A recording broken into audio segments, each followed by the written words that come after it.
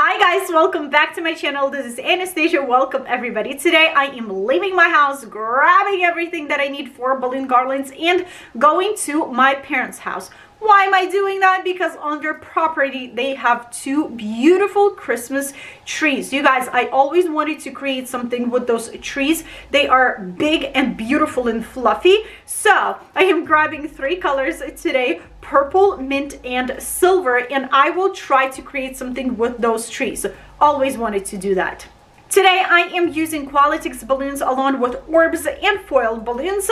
All of my Qualatex balloons came from Lauderdale Paper and Balloon Company. I will link and list everything in the description under the video. Also, if you're a new customer to Lauderdale Paper and Balloon Company and this is your first purchase, you can always use my code Anastasia10 for 10% off at checkout. This is an affiliate code and it's totally up to you if you want to use it or not. Here's the thing. I usually construct my balloon garlands with 12 inch balloons and mixing up those 12 with 16 to create the base. And then I fill it in spaces with other balloons.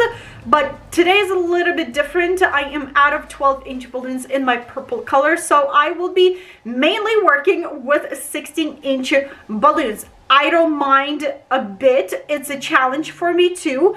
And just because outside is such a huge area we need to fill in as much as we can in those christmas trees. So that's uh, what I'm thinking. I, whatever I am taking today, I usually take with me when I am doing balloon garlands for clients. So hopefully it will be helpful. Let's go pack it up because we don't have a lot of time. First things first, of course, my electric balloon pump with extension cords.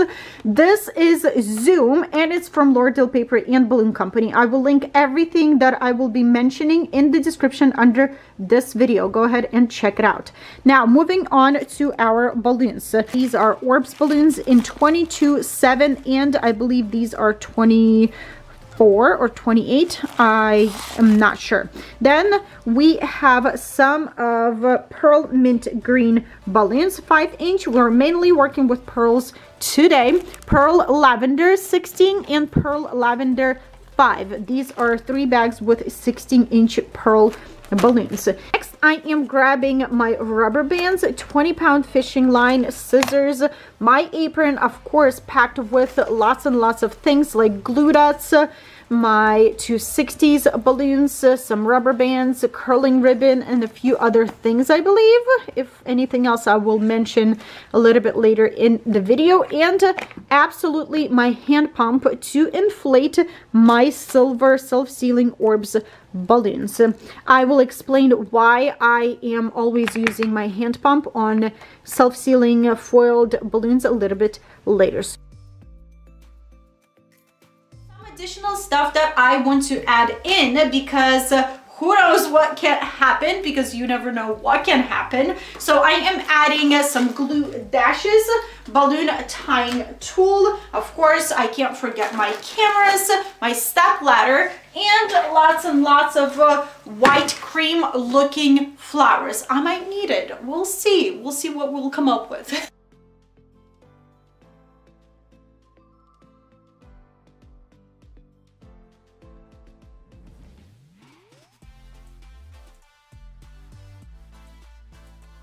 I am absolutely ready for summer. Even though I love winter, it needs to be a snowy winter and we don't have that. It's just cold This is the spot where I want to build a balloon garland, like right here, mix in my balloons with the branches of those trees and hopefully it's going to work out and these Christmas trees won't pop my balloons. We'll, we'll test. A little bit of Russian for you guys. Я знаю, что вы смотрите и поддерживаете меня. Дядя Сергей, Наташа, Никита и Владик, огромнейший привет! Привет! I have two hours literally two hours to inflate my balloons and build the balloon garland because I need to go home and pick up kids from a school bus. So let's not waste any time.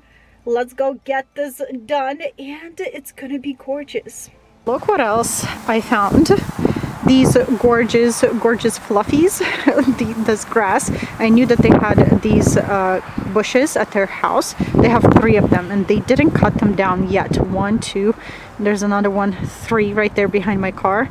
I might use these for my balloon garland. Now i don't know what to do. Either build my balloon garland here, even though it's a beautiful spot, or build it right over here, right, right here. Because already I will have these fluffies and it's gonna be a beautiful spot. I don't know, I'm still deciding. Here's what I decided. I will inflate my balloons, my clusters, and then I will go to two spots and measure my balloons against those two spots and see what I will like the best.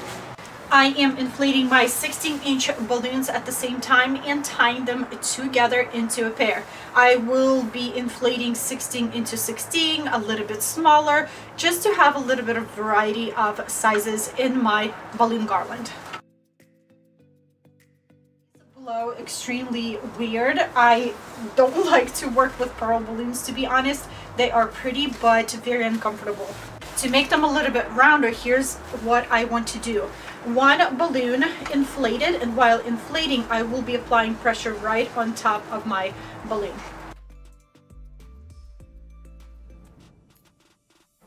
So much better. Why am I pressing on top? Because I want the sides of my balloons to stretch more instead of for my air to stretch the balloons uh, upwards.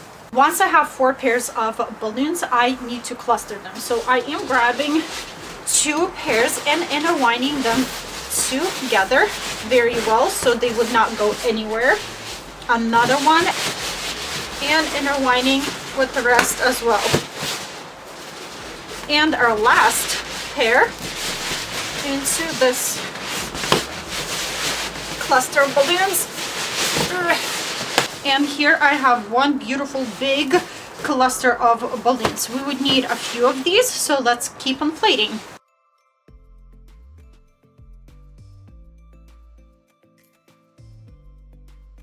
Here's what I'm about to do. I usually build my balloon garlands by tying necks of balloons of clusters together just because these are pearl balloons. They are not as stretchy as your regular latex balloons. So today I will be using my fishing line going back to where I started.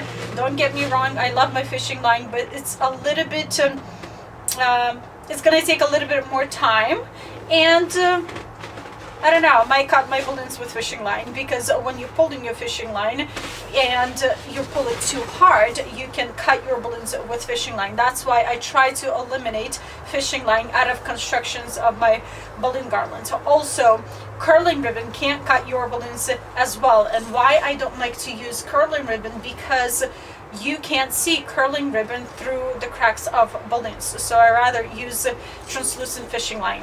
Another trick that I can give you about uh, fishing line is that you need to put your spoolie of fishing line into a loose pocket. Either it's a coat or this special apron. I got this apron, as you can see, from Lauderdale Paper and Balloon Company.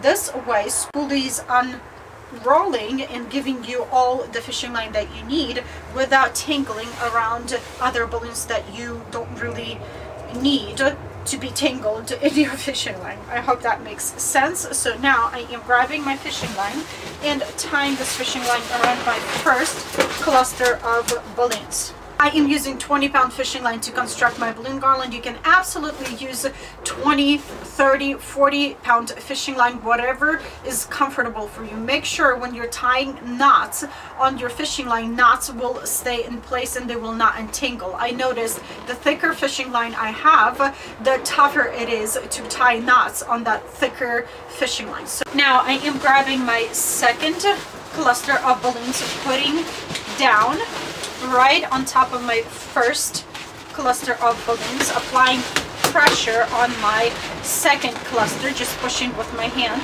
grabbing my fishing line and starting to intertwine or wrap my fishing line around balloons on one side, on the other side, going back to the bottom cluster to make sure everything nice and tight together. And while you're doing that, apply pressure on your top cluster and pull on your fishing line. Be careful not to cut your fingers because I've done that so many times and be careful not to pull on your fishing line too hard because as I said, you can cut your balloons. Again, around older, uh, newer cluster and back to older cluster. Back until you're happy and you notice that your clusters are not separating from each other and they're not like sliding apart. This looks great. Now I'm ready to add another cluster. So this is basically what I will be doing. You guys also to keep your clusters from sliding from each other, when you're happy with the tightness of your balloon garland, grab that fishing line and wrap that fishing line around your balloon a couple of times. That will stop your balloons from sliding apart.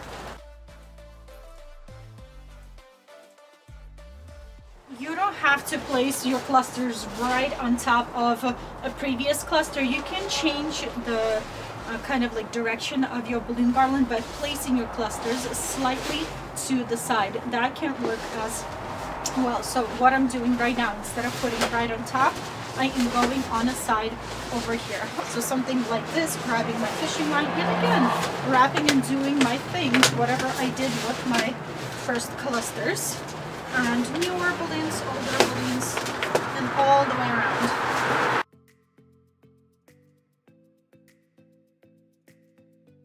We'll go measure this balloon garland. Let me show you how I secure my balloon. So I cut a long piece of fishing line. I am holding my fishing line with one hand, grabbing that tail and going around one of the balloons just like this. And now I created this loop over here grabbing the tail and fitting the tail through the loop grabbing the tail again that I just put through the loop and pulling on it.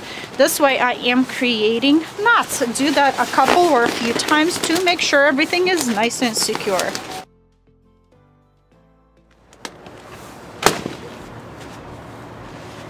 Oh no. One down what I'm trying to do I hope you can hear me. If anything I'll do a voiceover but I am trying to close these gaps as you can see in the trees and uh, kind of fill it in with balloons. Grabbing my fishing line and tying this garland straight to my trees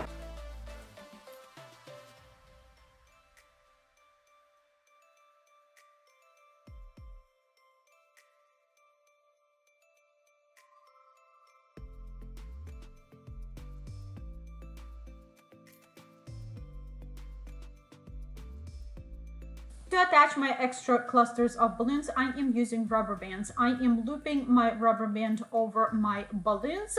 And now I have this loop and I'm ready to attach to my balloon garland.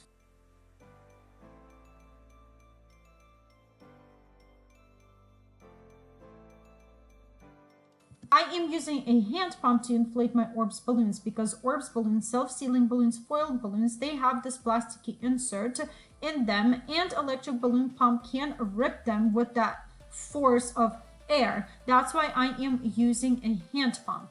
I on purpose underinflated my orbs balloons just a little bit. There's two different ways that you can attach your orbs balloons to your balloon garland. I'm to show you two. Hi guys, I'm very cold as you can see the reflection. But anyways, you're taking 260s balloons, grabbing this tail, putting your 260s right on it, wrap this tail on your 260 and start rolling rolling rolling until you reach the end. Grab your 260s and tie a knot. Just like this. And now you're good to go. And uh, tie your orbs on your balloon garland. Orbs balloons are a great way to add fullness to your balloon garland. It doesn't have to be orbs balloons, it can be 24 or 36 inch balloons as well. It is so gloomy now. I hope it's not going to rain. I really hope it's not going to rain. It's snowing, not raining. It's gonna take me quite a while to inflate these. Guys, I never do this, but I feel like I would have to do this and use this. I rarely, rarely do this, but I'm taking a chance here. Watch till the end to see the difference when I inflated my orbs with hand pump and electric balloon pump. Crazy. Hi.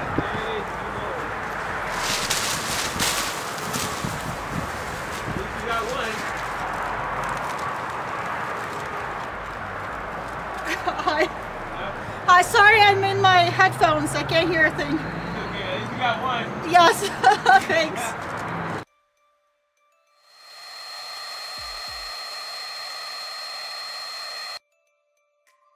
Here's another way that I use how to attach my Orbs balloons. I am grabbing my rubber band, folding in half, wrapping around this tail, taking one side of my rubber band and through the loop, pulling my other end and tightening and I'm ready to go and attach my orbs.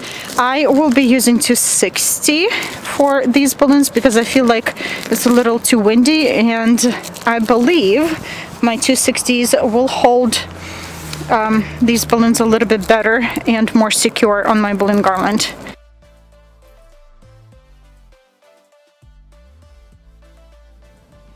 Added so much fullness now let's inflate smaller size and then we'll get two five inch latex balloons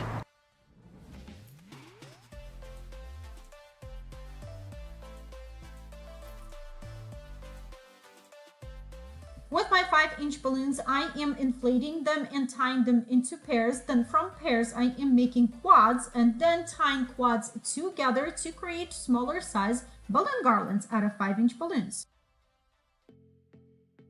I am attaching these smaller size balloon garlands to my garland with rubber bands.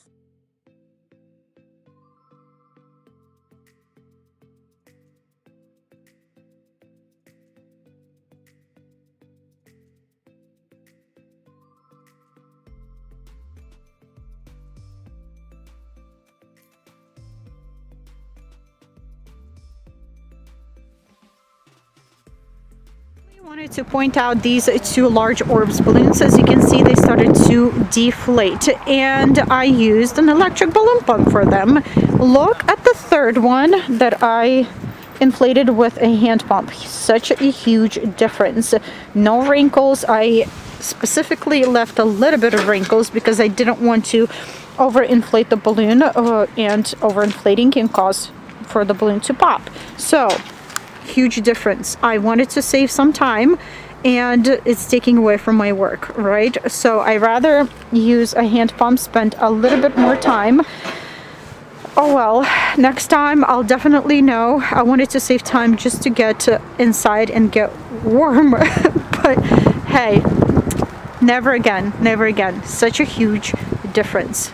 And of course, how could I pass this opportunity? I am cutting my parents' bush to use these fluffies and I love the final outcome.